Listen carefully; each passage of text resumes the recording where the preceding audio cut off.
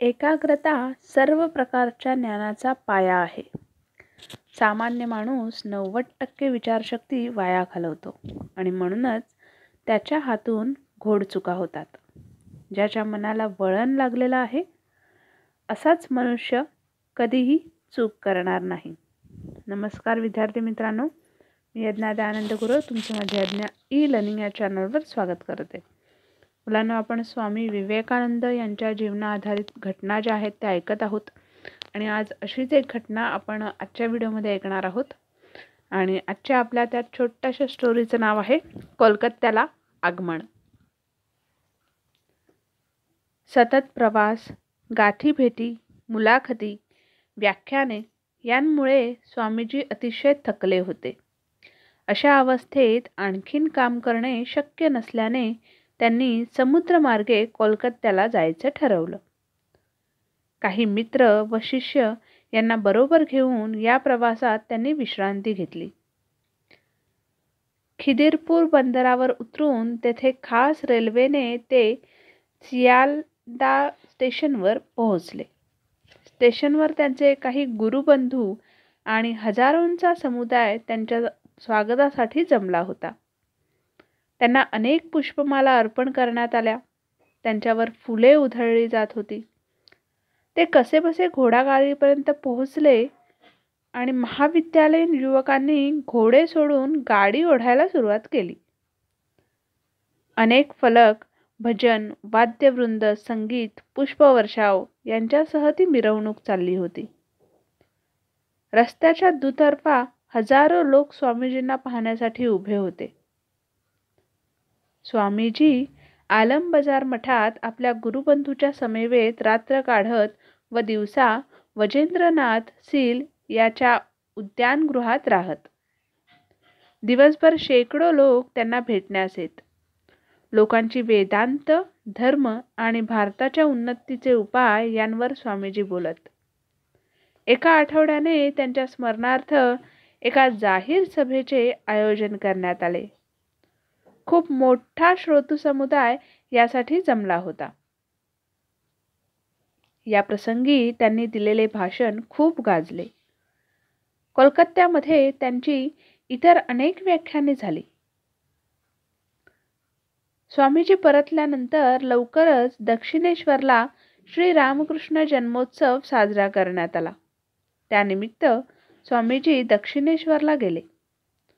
तेथेही मोठ्या संख्येने लोक उपस्थित होते.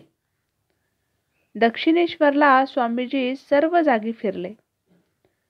श्री रामकृष्णांच्या सहवासातल्या त्यांच्या अनेक स्मृती जागा झाला श्री रामकृष्णांचे इतर जुने भक्तही त्यांना तेथे भेटल्यामुळे स्वामीजी खूप आनंदित झाले. आलम बाजार मठात आपल्या गुरुबंधूंसमेवत ते सर्वाधिक प्रसन्न असत. त्यांच्याशी ते खूप संवाद साधत. भारताच्या पुनरुत्पानाच्या आपल्या कल्पना तसेच संन्यासाचा सेवाधर्म यांविषयी ते त्यांच्या कल्पना मांडत. त्यांच्या गुरुबंधूंना सेवेच्या या कल्पना प्रथम मुळीच पटल्या नव्हत्या. संन्याशांनी ध्यानधारणा आणि ईश्वरी साक्षात्कार प्राप्त करणे एवढ्याच गोष्टी कराव्यात असे त्यांना वाटे. संन्याशांनी इतरांसाठी शाळा किंवा दवाखाने चालवावेत या गोष्टी त्यांना मान्य नव्हत्या. परंतु स्वामीजींनी त्यांना या दोन्हीही गोष्टी तितक्याच महत्त्वाच्या आहेत हे पटवून दिले. लोकांच्या सेवेमध्ये स्वतःचे आयुष्य समर्पित करणाऱ्या संन्याशाचा एक संघ स्वामीजींना उभा करावायचा आहे हे त्यांनी सांगितले. नंतर मात्र गुरुबंधूंनी त्यांचे म्हणणे मान्य केले. स्वामी रामकृष्णानंद यांना अशा स्वरूपाचे कार्य करण्यासाठी त्यांनी मद्रासला म्हणजेच सध्याच्या चेन्नई येथे पाठवले. स्वामी शारदानंद आणि अभेदानंद हे आधीच स्वामीजींच्या सूचनेवरून पाश्चिमात्य देशात कार्यरत झाले होते. स्वामी अखंडानंद हे दुष्काळ निवारण कार्यासाठी मुर्शिदाबाद येथील खेड्यामध्ये जाऊन पोहोचले होते. इतर साधूही अशा प्रकारच्या सेवा कार्यात सज्ज होते. श्री रामकृष्णांचे गृहस्थ भक्त आणि संन्यासी या उभयतांनी मिळून कार्य करावे अशी स्वामीजींची इच्छा होती आणि म्हणून त्यांनी या उभयतांचे एक मे अठराशे सत्त्याण्णव या दिवशी एक मोठी एकत्रित सभा बोलावली. त्यांनी एकत्रित चर्चा करून एक संघटना सुरू करण्यास संमती दिली. याच संघटनेचं नाव होतं रामकृष्ण मिशन. आणि या संघटनेमध्ये कला हस्तकला उद्योग यांचे प्रशिक्षण देण्यासाठी शिक्षक तयार केले. आणि लोकांमध्ये धार्मिक विचारांचा प्रसार करणे ही कार्य केली जात असे. या मिशनतर्फे देशाच्या विविध भागात मठ केंद्रे स्थापन केली जातील. या केंद्राच्या मार्फत बाहेरील देशात वेदांताचे प्रचारक पाठवले जातील असे ठरवण्यात आले.